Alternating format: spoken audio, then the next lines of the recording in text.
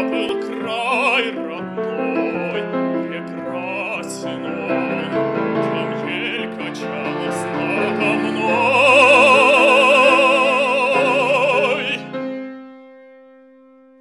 Но то был сон.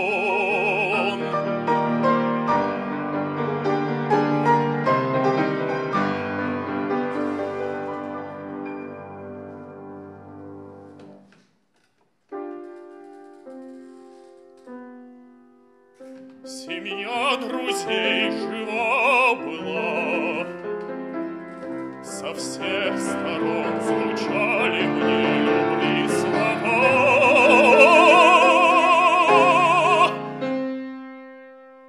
Но то